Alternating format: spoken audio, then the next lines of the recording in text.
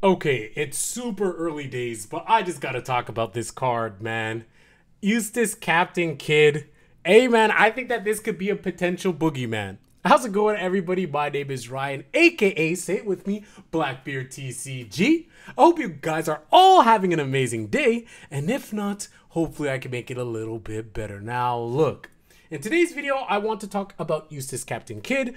Um, I also want to go over Birdcage. Um, this is a card that has been revealed and why I think that these cards are really cool. I'm actually really happy that they're coming to the game. But then I also want to know your guys' thoughts down below on these two cards and how this will affect Red going forward. I'm super, super curious about your guys' thoughts. So make sure that you guys leave your thoughts down below in the comment. I will make sure to like your comment so you know I read it and I try to respond back to all of my comments So, before we get into the boogeyman that is Eustass Captain Kid, um, I just want to talk real quick about OP05. Obviously, the red leaders that we are getting, Belo Betty, Sabo, right? Dual color leaders. A lot of these character cards are going to be locked behind the Revolutionary Army type, which is something that I've discussed in one of my previous videos about that's basically what Bandai is going to have to do with red to try to mitigate Zoro and Law from continuing to pop off and have tools to continue to pop off because as we can see very recently Zoro and Law are still absolutely crushing the metagame even in OP04 right? Like and, and look at the cards. They're not using this list has zero OP04 cards. This list has zero OP04 cards.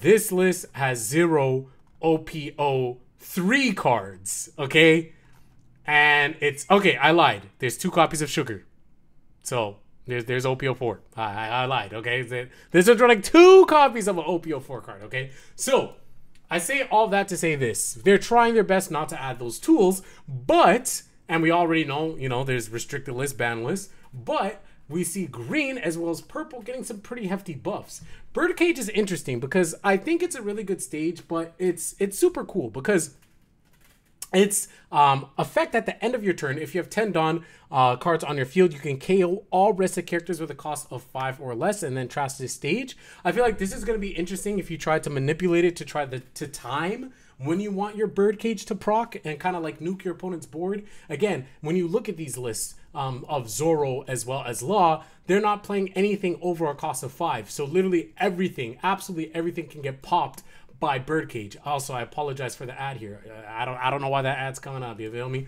So, Birdcage. I, I think it's really really interesting in that aspect. Of course, it's limited to just Doflamingo leader as well. So green purple Doflamingo gets another tool for it to be a formidable deck, which it already is, quite frankly. Doflamingo is a very strong deck. This makes it better, but I do really hope that this kind of opens up more ideas for people to play the pure Don Quixote Pirates build, as that is also getting some more support. So, super curious to see how this ends up going.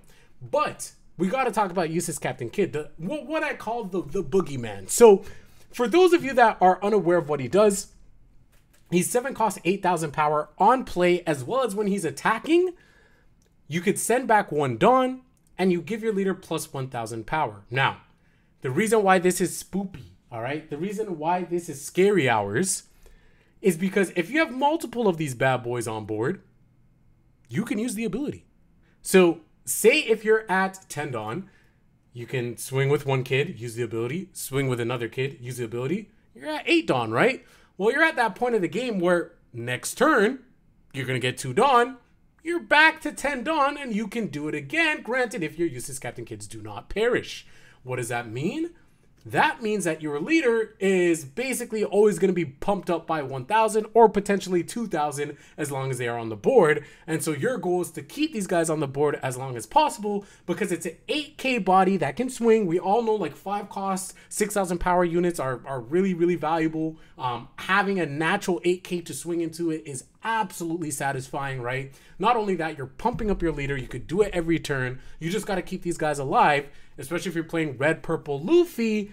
Then your red, purple Luffy gets super deadly, and he goes from a 6k leader to a 7k leader. If you have two of them, an 8k leader. It just becomes extremely oppressive. We all know how things are with 9 cost Edward Newgate being able to pump up leaders.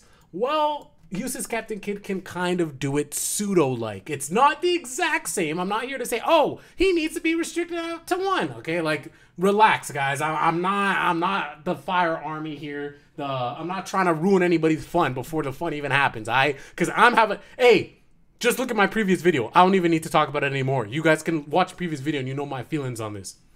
So with that being said, this card though is very very scary, but it excites me. I love this. Like I'm actually so happy because now hopefully we see a little bit more diversity. Now, of course, red purple Luffy still has red. You know, technically you could say if that becomes meta, it's it's still a red deck, right? You you say Laws meta, it's a red deck, fair. But I feel like it's the purple that really makes this pop off. Eustass Captain Kid. I'm still playing around with this leader. I think has a lot of potential as well. Red purple, right? But then you also have to look at a leader like Magellan, who again, we still have to see how things turn out.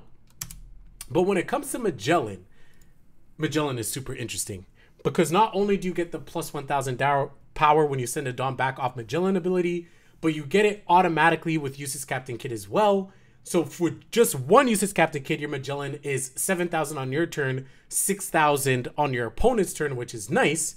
And now all of a sudden your curve feels so damn good, right? So if we go ahead and take a look at um, purple cards, so let's go ahead and filter. Let's change this to purple. Um, and let's go ahead and start off with your one cost. So with one cost, you can play Hannibal, right? So that's your one cost turn. Your three costs, you could play your Jailer Beast. So um, cost three, you could play your Rhino Jailer Beast. Where is he?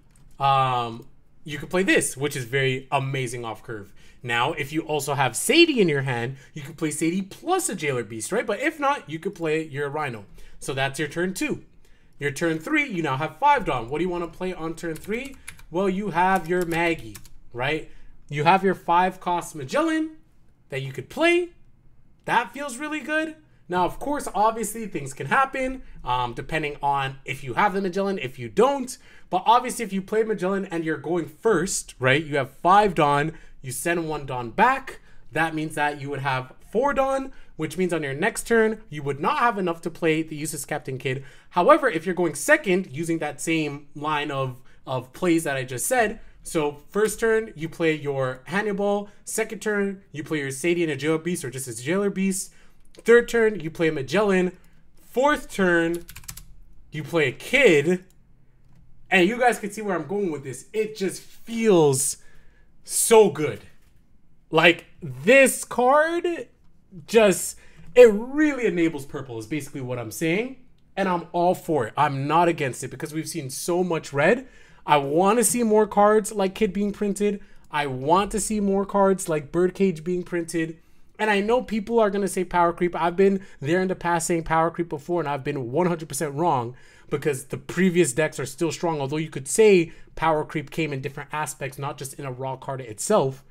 But I think that with the state of the game now, it's a great time to start introducing these things and I think that we should see a lot more. Another card that's very powerful in blue is Borsalino. I don't think it's here, but it is here. This Borsalino here, 7 cost Borsalino, um, which is very strong, 8,000 power, but can also uh, be a 3,000 worlds. Um, so, yeah, looks like a lot of cards, uh, a lot of colors are getting very powerful cards. Um, and I love it. I love to see it. Like red, obviously you can nerf it on the ban list, but another way is to just buff everything else as well. So, my question to you guys in the comments what do you guys think overall? Do you guys think that this is a good direction? Do you guys think that Eustass Captain Kid seven costs is gonna be a potential boogeyman? Um, do you guys think it's just whatever? Like I'm all for like let's just let it rock, man. Let's let it let's let it rock for a couple sets. We need to. Let's just see what it can do. Let purple have some time to shine. All right, it hasn't had any time to shine since OP01 pre release, um, and then into OP01 with people playing Kaido and just hunting for that Oni, right? After that, Purple's fallen off. So that is literally from set 1. We're now in set 5. Let Purple have some fun. I don't think there's nothing wrong with that, fellas. But I'm curious, what are your thoughts? Let me know your thoughts on Eustass Captain Kid. Let me know your thoughts on Birdcage. And let me know your thoughts overall on other colors getting very strong cards and try to limit what red can get. What red can get. There we go. I don't know why I've stumbled over my words at the very end, but we do it all in one take. I will catch you guys later. Have an amazing weekend. Peace.